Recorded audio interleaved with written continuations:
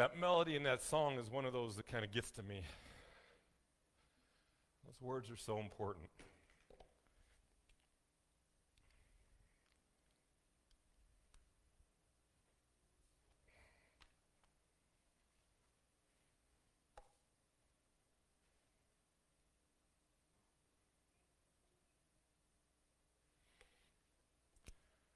So I want to start this morning by asking you a quick question. Have you ever made plans you thought they were the perfect plans? Maybe it was a vacation or a project at work or maybe a, a project around your house. Unfortunately, many times those perfect plans are perfect until you actually tried to carry them out. And then they were slightly less than perfect. And I've experienced myself a few imperfect plans and actions. First one, there was a September cruise I planned for Mary and I for our honeymoon um, many, many years ago. And I had an imagined sunny days, beautiful beaches, and instead we had clouds, rain, and a tropical storm at sea. Mary was fine. I laid in the bed seasick for 24 hours. Or then there was the, the hike deep into the Rocky Mountains through beautiful snow. It was gorgeous. It, it was a, a point-to-point hike. In other words, it wasn't a loop. We were going from point A to point B. It was the perfect day for hiking. We didn't see another person the entire day. Unfortunately, though, that beautiful snow led to an impassable snow ledge. We had to turn back. And then me, using my great navigational skills, I tried to find us a shortcut, and we got lost. Of course, there are those times when a, a change in plans can actually bring amazing rewards. Recently, some family members bought me a puppy for my birthday. Yeah, oh, come on. Oh, there you go. Well, about two weeks before we picked up little Maggie, the plans changed. And the change happened as, as Mary and I were driving to her sister's for dinner. And during that 30 minute drive, we decided to get a second puppy. I can tell you six months ago, I wasn't sure about having one puppy. Mary was much less sure. Two puppies certainly were not in our plans. But Maggie and Gus have been the greatest blessing. Gus is a great brother to Maggie. You see, some plans are meant to be changed. And along those lines of plans that, that change, several months ago, I laid out the, the message plan for our study of Paul's um, letter to the Colossians, entitled it A New You in Christ. And as I did that, I determined which passages which would be read on which Sunday and who would cover each week. So I made a, a preaching schedule for Pastor David and I. And I think we would all agree it's been a good series. Paul's words to the Colossians make it very clear who Jesus is. But Colossians also reminds us that we definitely are new people in Christ. But way back when I made those plans, I made one significant mistake. I gave myself today's passage from Colossians 3, which I just read a few minutes ago. It's a great passage. It just doesn't always sit well with people. Last week, when I looked at today's passage, my first thought was, why did I do this to myself? I could have assigned these verses to Pastor David. I should have planned better. But then I realized this actually is a very awesome passage. As, as Kent Hughes wrote, he said, Paul has taken us from the religion of the whole universe to the religion of the kitchen and the bedroom. And, and we're just going to stick with the kitchen and change the bedroom to the family room, okay? But the point is, is we've gone from the deep Christological theology of Jesus Christ in the first couple chapters of this letter, and now we've arrived at God's guidance for the practical life of a Christian family. And it reminds us that the Bible is theological, but it's also practical. And I love it when a passage so clearly and so easily applies to Monday through Saturday living. If, if God's word doesn't impact our daily living, we're missing so much. And so this morning, I'm going to tell you, you're not going to get a lot of deep theology. But you will hear some very practical biblical wisdom for your home. And if you're working, even for your work. And if you're single or don't have kids or not working, Paul's words still apply to you. Listen carefully to see where you can apply God's teaching to the people in your life. And so let's get started with God's guidance on a relationship between a husband and a wife. Now, if we were really going to cover this topic thoroughly, it would take hours. But I'm going to take Paul's lead and be quick and to the point. Paul very succinctly wrote, Wives, submit to your husbands as is fitting the Lord. Husbands, love your wives and do not be harsh with them. Before we go any further, we must understand that Paul was talking about a Christian home here. His words have nothing to say about a woman's role in society. You know, I can tell you, she's sitting there, I have a strong wife. Mary is amazing. As, as a cardiac nurse, her knowledge humbles me. Mary has dedicated her life to helping others. She's incredible loving. Her faith is strong. You can see she's beautiful. She's a better person than me. And in case you're wondering, yeah, you know what? I'm hoping I scored a few points this morning. I did. She's nodding. Good deal. but there's other women in my life close to me that also amaze me. They are creative, they are leaders, they are passionate about their faith. They accomplish more in a shorter amount of time than 99% of the guys I know. They're confident and they're scary smart. When Paul wrote those words of submission in this passage, he wasn't saying that women can't do great things. He wasn't saying that a woman couldn't be the president of a company or the president of a nation. Paul was teaching God's guidance for a Christian home. And if we follow God's leading, our marriages will be stronger and our families will be stronger. Let me read Paul's words in the very beginning there again. He said, Wives, submit to your husbands as is fitting in the Lord. First off, this is a command from God. But you also have to know in Paul's time, women were little more than property. A Jewish husband could divorce his wife for any reason. She had no rights. In Greek society, a wife lived a life of seclusion. She never appeared in public alone. She often didn't even get to eat with her husband. And she was to be faithful to her husband, but he could sleep with whomever he chose. Ladies, aren't you glad you didn't live in the first century AD? Some of you would have broken the sixth commandment Thou shalt not kill. Paul's message, though, concerning wives was actually radical. He was giving women an equal role with their husbands. That was unheard of at that time. The submission Paul wrote of was not what we think the word implies today. To, to us, submission means that a woman is, is a doormat, that she has no rights. She's a lesser person. She's somehow unequal to her husband, and her husband is to be your master.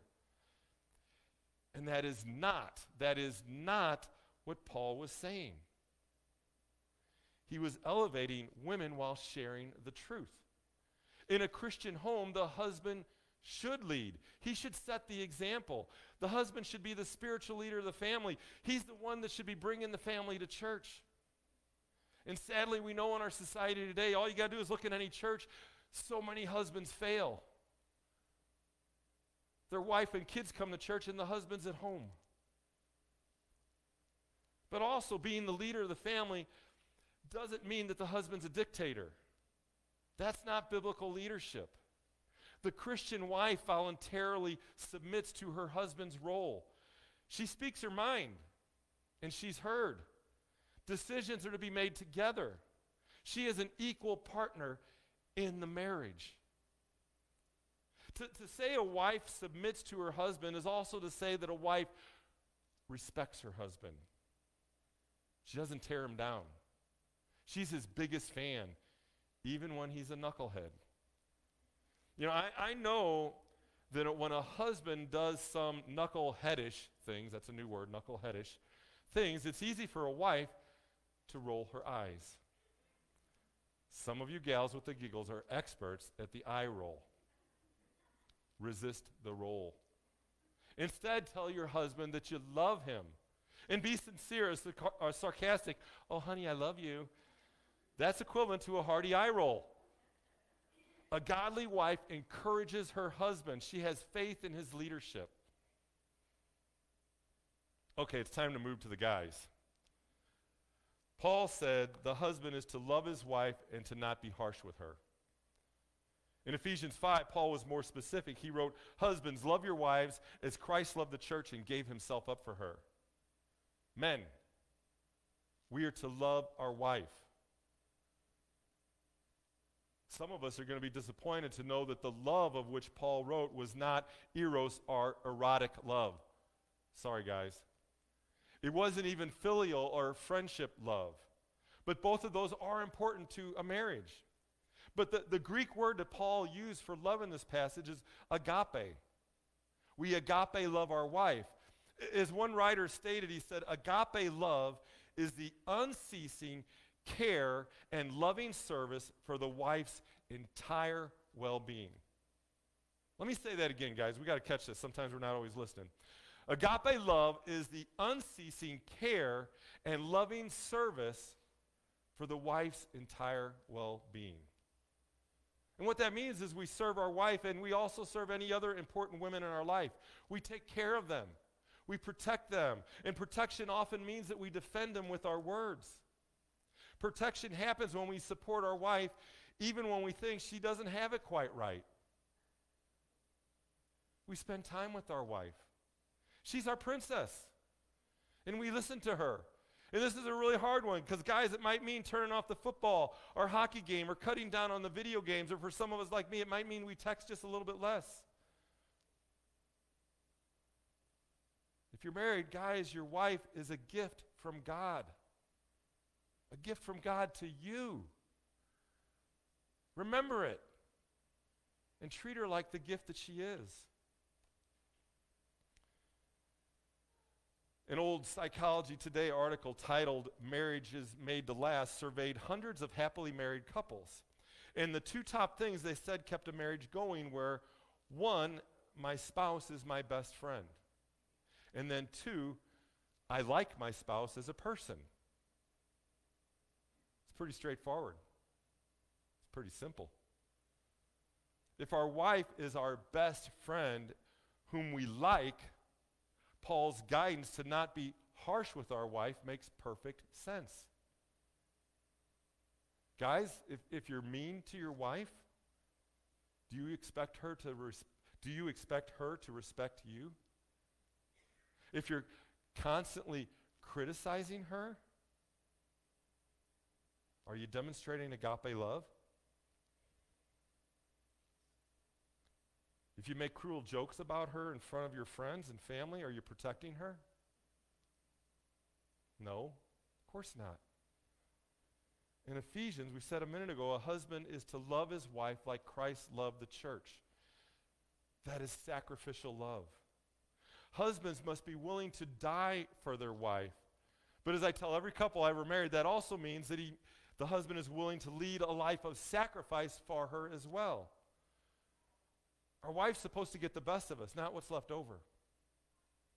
Loving our wife also includes praying for her. Be, speci- be specific. What does she need today? How can you ask God to help her become the woman He calls her to be? And while we're at it, we probably ought to pray that we would be a better husband. So, to sum all that up, God's practical guide to marriage is this Wives, respect your husbands. Husbands, love your wife with a Christ like love. that was easy, wasn't it? we got that, guys. We got that, wives, of course. So now we're going to move on to the harder stuff kids and grandkids, or any other children in your guidance. And there's messages here for us as guardians over children, but there's also messages for children here.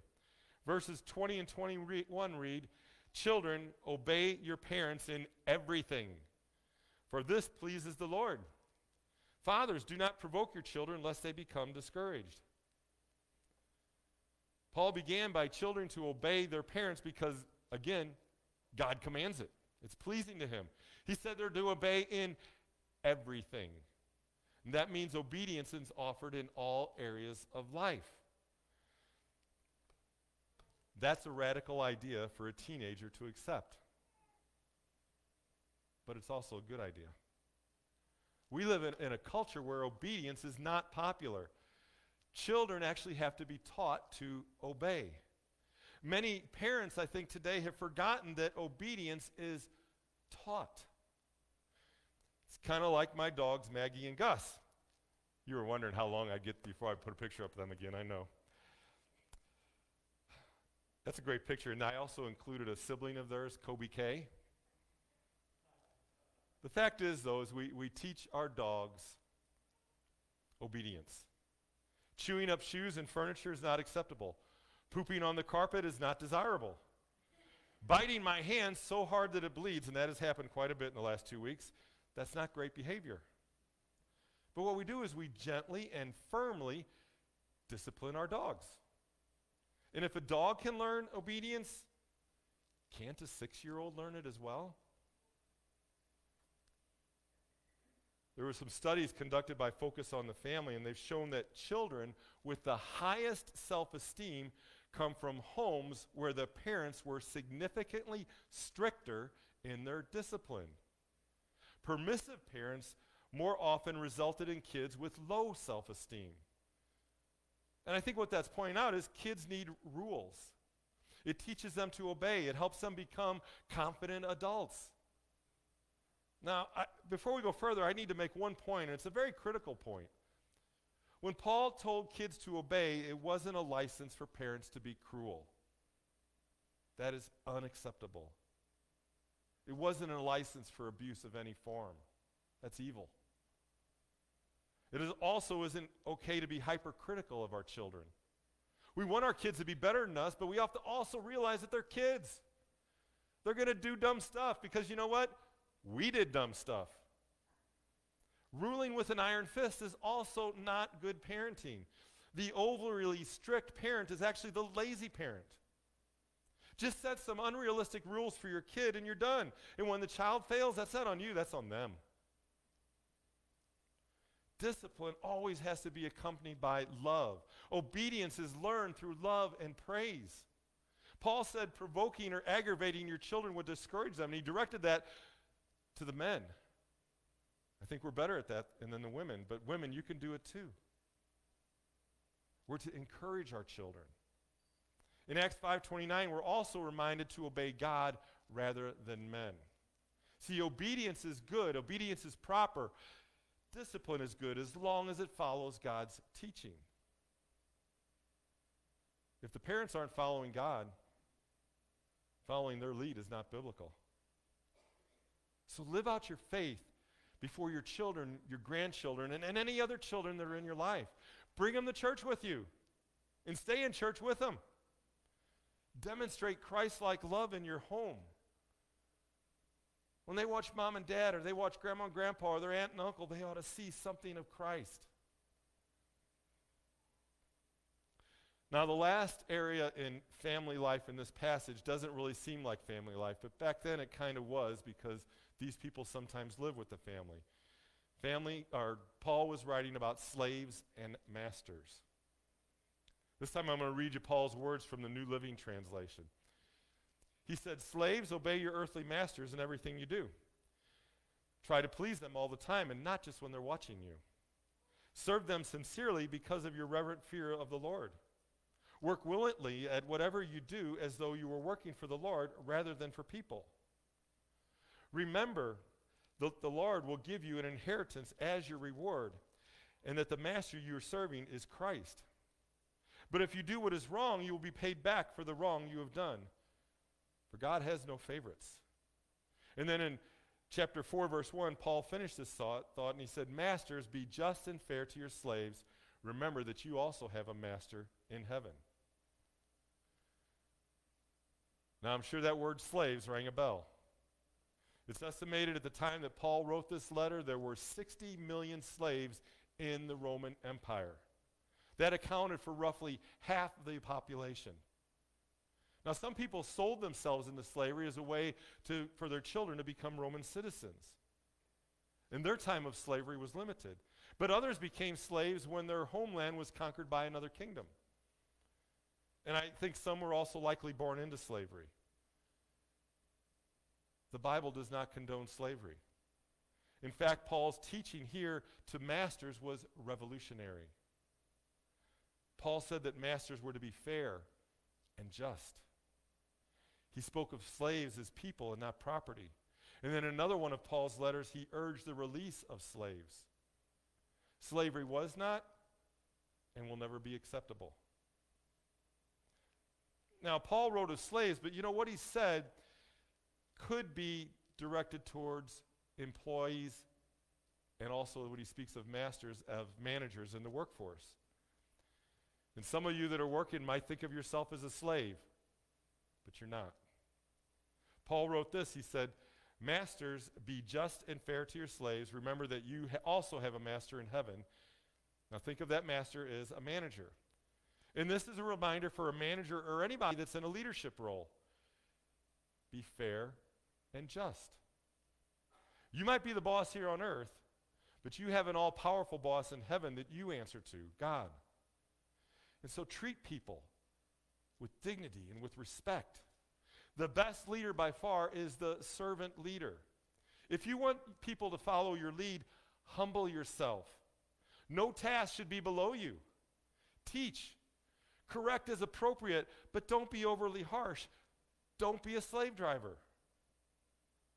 Paul's words to the slave are, are the worker, the employee, are equally important. Paul told slaves to obey their earthly masters in everything they do. Now, the, the word earthly there kind of stands out because that's in this world. The Christian's true master is God. And that being said, a, a good employee follows the instruction of his manager, even when that task is unpleasant. Way back in my first job as a, as a chemist, my manager volunteered me to be on the safety committee. It kind of sounds like an honor. And, maybe it was, but part of the safety committee work was to manage the hazardous waste site every Friday. And that meant gloving up and masking up and gowning up to handle things that were unhealthy. I had to haul drums of toxic waste to the storage facility. I had to clean up the spills from coworkers who were sloppy when they were entering their containers. When it was 95 outside, you were drenched. When it was 20 outside, you were freezing and you sometimes had ice on the top of the drum, you couldn't get it open. But you know what? If I wanted to keep my job, I had to be obedient. Now, of course, if the safety committee had recklessly put me in danger, I would have been right to decline doing that work. Like we said earlier, obedience is off the table when obeying it goes against the teaching of the Bible. For example, if you're in sales, and your boss wants you to unfa- unfairly inflate pl- prices or do a bait and switch, don't do it. If your boss is unethical, lazy, acts inappropriately, don't go along with it. Speak up. Paul also said that we are to please our master even when they're not watching. There was a woman I knew years ago named Maggie, no relation to my dog. Maggie was a farm girl who worked for me at an agricultural company. And when I was around, Maggie was the picture perfect employee. When I was out of the office, Maggie turned into the woman from hell. Her language would have made a sailor blush. Her attitude towards her workers was one of disdain. Her arrogance was a turnoff. She would leave the office for extended periods if I didn't happen to be there let's just say that I heard about Maggie's dual personality. And Maggie found a new opportunity to work at another job, which was better for her and better for our office. Sadly, we can sometimes be tempted to put on a show when the boss is around. And as soon as the boss is gone, our true self comes out. And Paul made it very clear don't do it. We are to serve at work or church or wherever we volunteer with sincerity, remembering that God is aware of our actions, He's aware of our thoughts. We might be able to hide things from our boss for a while, but we cannot hide them from God. Paul added also, he said, work willingly at whatever you do, as though work as though you were working for the Lord rather than people. I want you to read that with me out loud again because I think this is really important. Let's say it together. Work willingly at whatever you do as though you were working for the Lord rather than for people.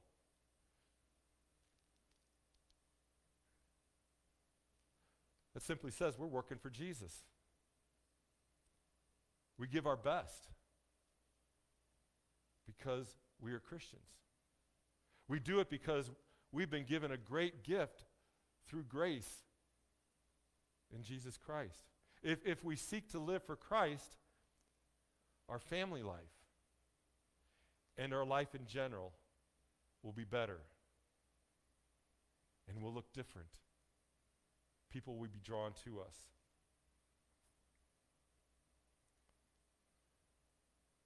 Well, we've covered an awful lot today. Some of it might have felt a little overwhelming, but that being said, God's guidance here for family life is very straightforward. Can sum it up this way. Wives, show your husband respect. Husbands, love your wife with a Christ like love. Kids, obey your parents. Parents, discipline your kids with love and encouragement. Managers, treat people with respect and dignity. And workers, do what your ba- boss asks and always give your best. Remember, you're, you're ultimately working for Jesus. Let us pray.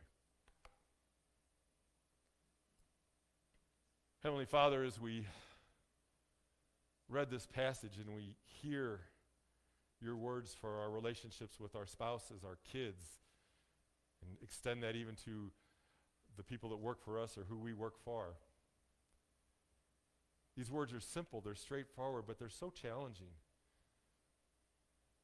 Father, we look to your Son, our Savior, as the perfect example to follow. Help us to be more like Jesus. Help us to love our spouse with a Christ like love. Help us to show respect. If we're, we're kids, even if we're grown kids, maybe remember to obey our parents. In our work, may we give our best. If we manage people, we may, may we treat them as Christ would treat them.